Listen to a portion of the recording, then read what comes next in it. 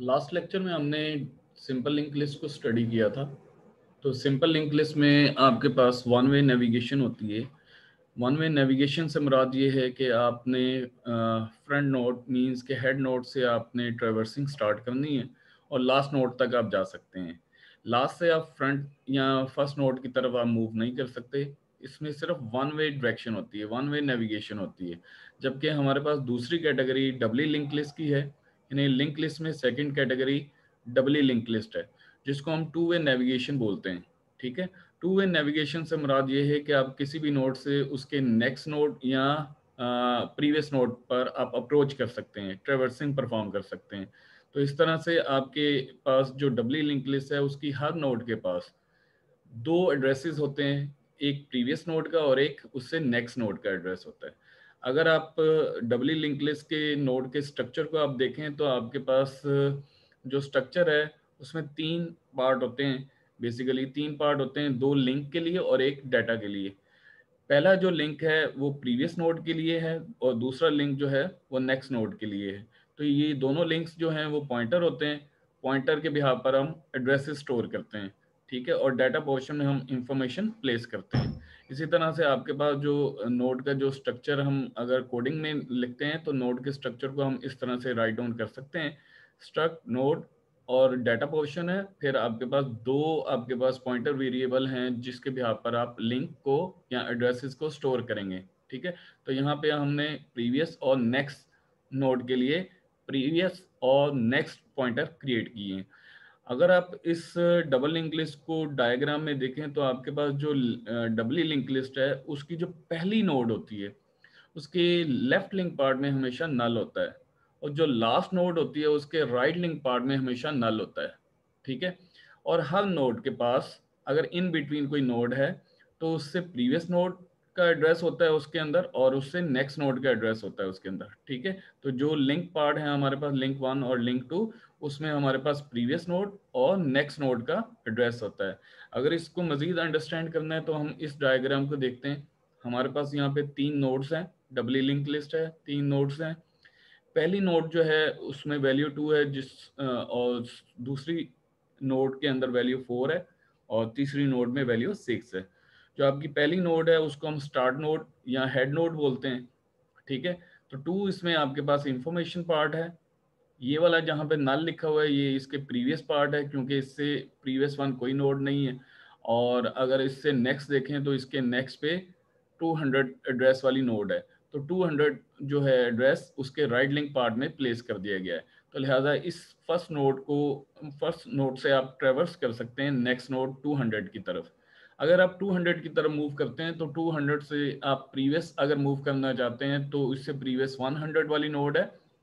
तो यहाँ पे उसके लेफ़्ट लिंक पार्ट में वन हंड्रेड है और उसके राइट लिंक पार्ट में थ्री हंड्रेड है। तो थ्री हंड्रेड से मुराद उसके नेक्स्ट नोड जो है वो थ्री हंड्रेड नोड है। थ्री हंड्रेड एड्रेस वाली नोड है। और अगर आप इस नोड को देखें तो इसके प्रीवियस इससे प्रीवियस जो नोड है वो 200 एड्रेस वाली नोड है और उसके नेक्स्ट में कोई नोड नहीं है। तो लिहाजा यहाँ पे राइट लिंक पार्ट में नल नल अवेलेबल है। इसका मतलब ये जिसके राइट लिंक पार्ट में नल होगा तो वो आपकी लास्ट नोड होगी। ठीक है? और जिसके फ़र्स्ट नोड के फ़र्स्ट नोड को आपने आइडेंटिफाई करना है तो उसके लेफ़्ट लिंक पार्ट में हमेशा नल होता है, ठीक है? तो इसको हम इम्प्लीमेंट करते हैं। टर्बो के अंदर हम इम्प्लीमेंट करते हैं, जिस तरह से हमने सिंपल लिंक लिस्ट को इम्प्लीमेंट किया था, हम उसी प्रोग्राम को सेव एज करके डील डबली लिंक लिस्ट बना रहे हैं। तो डबली लिंक लिस्ट के लिए हम सिंपल लिंक लिस्ट के फॉर्मेट को हम मॉडिफाई करेंगे। उसके स्ट्रक्चर को भी मॉडिफाई करेंगे तो यहाँ पे आपके पास नोड को नोड का जो स्ट्रक्चर है, जो पहले हमने डिफाइन किया था, एक लिंक के लिए किया था, अब हमने उसको दो लिंक के लिए यूज़ करना है। तो पहला हमारे पास लिंक पार्ट जो होगा, वो लेफ़्ट लिंक पार्ट है, और दूसरा हमारे पास राइट लिंक पार्ट है। लेफ़्ट लिंक में हम उससे नोट से प्रीवियस नोट का एड्रेस कंटेन करने के लिए हम यूज़ करेंगे, और एग्जिस्टिंग या करंट नोड के आगे जो फॉरवर्ड या नेक्स्ट नोड है राइट right साइड पे जो नोड है, उसका एड्रेस कंटेन करने के लिए हम आर आर लिंक या राइट right लिंक को हम यूज़ करेंगे, ठीक है?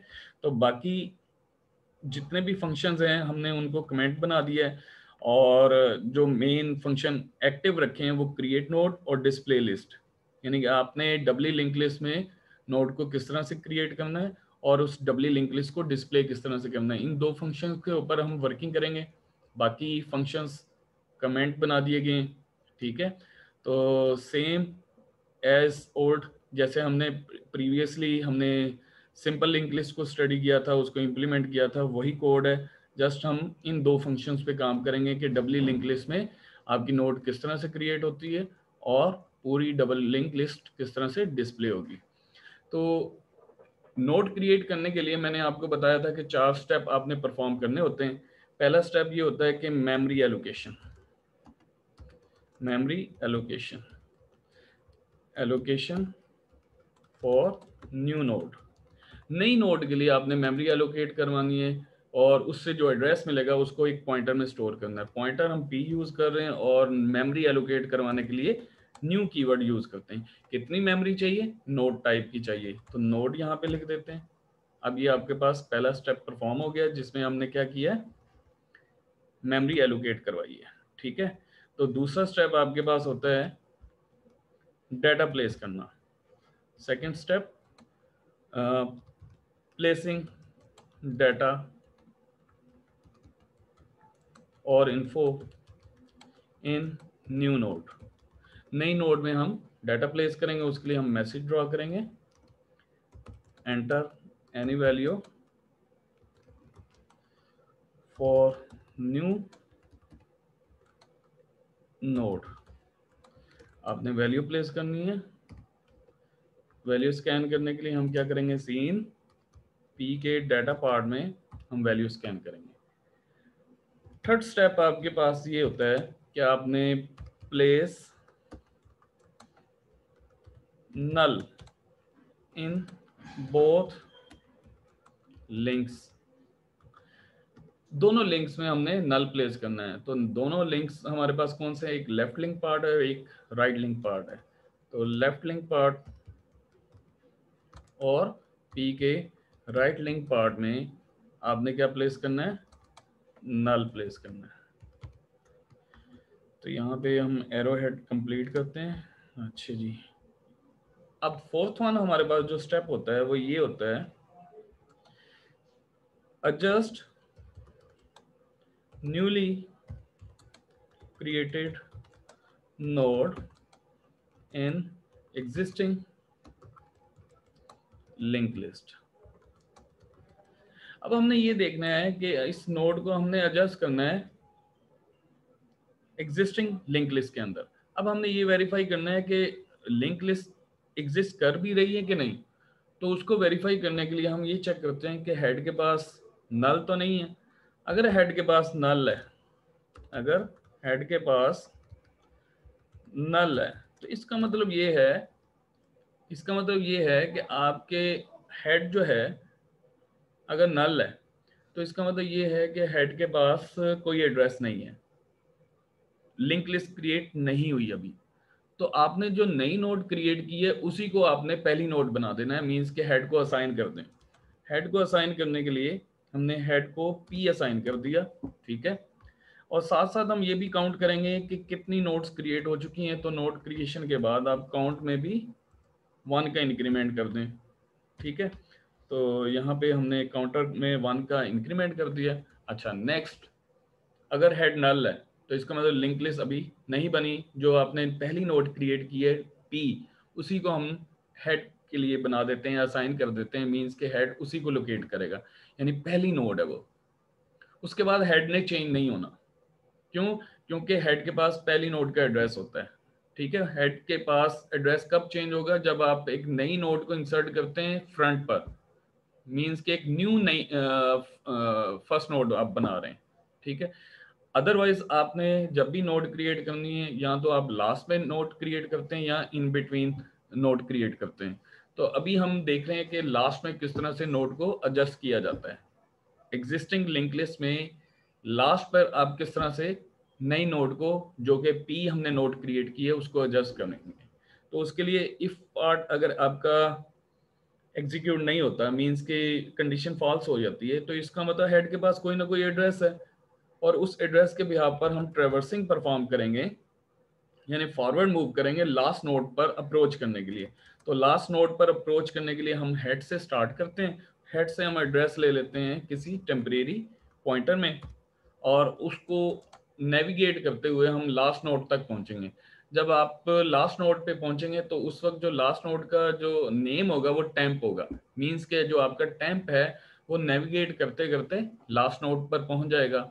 इस तरह से आपके पास दो नाम होंगे, दो नोड होंगी, एक टेम्प नोड और एक पी नोड आपने क्या करना है टेम्प के साथ पी को अटैच करना है और पी के साथ टेम्प को अटैच करना है, क्योंकि प्रीवियस नोड और नेक्स्ट नोड के कंसेप्ट को यूज़ करना है। तो हम नेविगेशन के लिए वाइल लूप यूज़ करेंगे। टेम्प के, अगर तो राइट लिंक पार्ट में नल नहीं है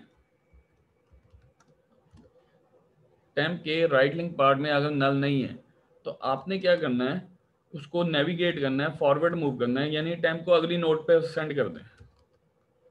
टेम्प को ये असाइन कर दें टेम्प का राइट लिंक पार्ट इस तरह से क्या होगा कि लूप आपका बार बार चलेगा और उस वक्त तक चलेगा जब तक नोड के राइट लिंक पार्ट में नल ना आ जाए। तो आपको पता है कि नोड के राइट लिंक पार्ट में नल कब होता है? नोड के राइट लिंक पार्ट में नल उस वक्त होता है जब नोड लास्ट हो। तो जैसे ही लास्ट नोड के राइट लिंक पार्ट में नल आएगा तो ये लूप टर्मिनेट होगा। जब लूप टर्मिनेट होगा तो आपका टेम्प जो होगा, वो लास्ट नोड पर होगा। लास्ट नोड पर पहुँचने के बाद लूप टर्मिनेट होगा। लूप टर्मिनेट जब हो जाता है तो आपने अब कनेक्शन एस्टेब्लिश करने नई नोड का टेम्प के साथ कनेक्शन एस्टेब्लिश करना और टेम्प का नई नोड के साथ करना क्योंकि हमारे पास ये डबली लिंक लिस्ट है। तो आपके पास जो लास्ट नोड है, वो टेम्प है, ठीक है? इस पॉइंट पर टेम्प इज़ ऑन या एट लास्ट नोड ठीक है? और नई नोड कौन सी?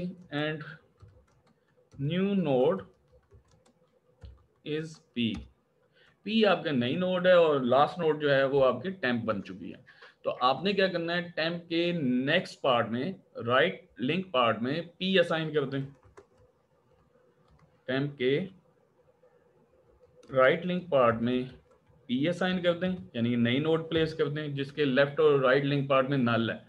अब क्योंकि पी के लेफ़्ट साइड पे भी तो नोड है ना, वो कौन सी है? टेम्प ठीक है? तो हम क्या करेंगे? पी के लेफ़्ट लिंक पार्ट में हम टेम्प असाइन कर देंगे।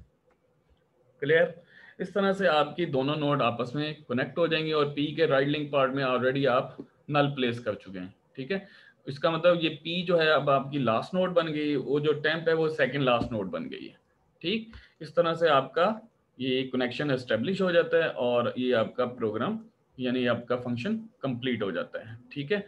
तो अब हम डिस्प्ले की तरफ़ मूव करते हैं।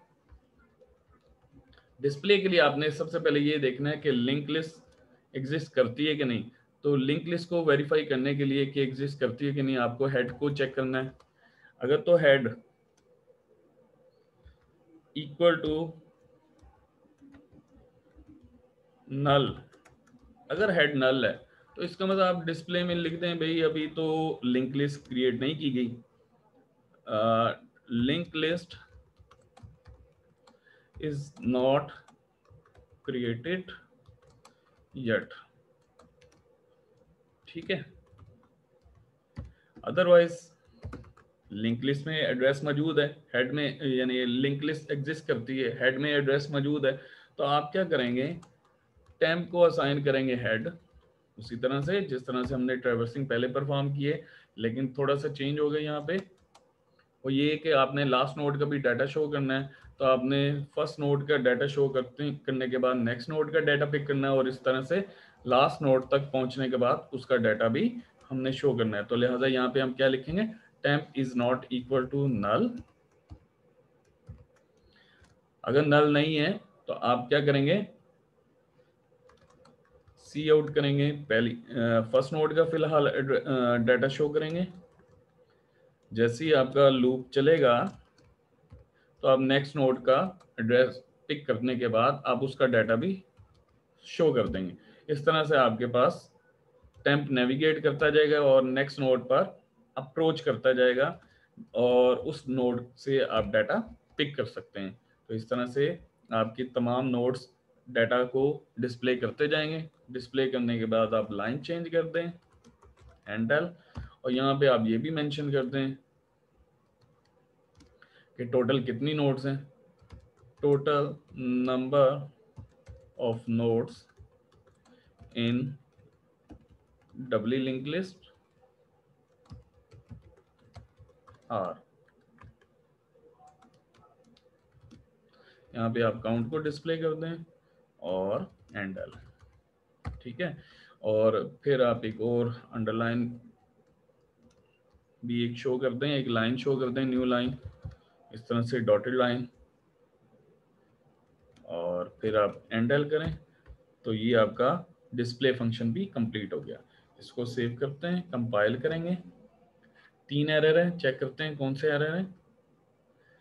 यहाँ पे देखें जी, आपके पास स्टेटमेंट मिसिंग है सेमी कॉलन मिस है अच्छा जी compound statement left bracket missing है, उसको हम वेरीफाई करते हैं कहाँ पे हमारे मिस हो रही हैं। तो ये हम, हमारे पास है, हमारे पास इफ़ एल्स और ये हमारे पास क्या है जी क्रिएट नोट क्रिएट नोट में हमारे पास इफ़ है इफ़ के बाद एल्स है। एल्स का हमारे पास ये ब्रैकेट है और ये एल्स का ब्रैकेट है। ठीक है? तो नेक्स्ट हमारे पास फ़ंक्शन का ब्रैकेट भी चाहिए। तो इस तरह से ये फ़ंक्शन का ब्रैकेट हम प्लेस कर देते हैं सेव करेंगे। अब चेक करते हैं।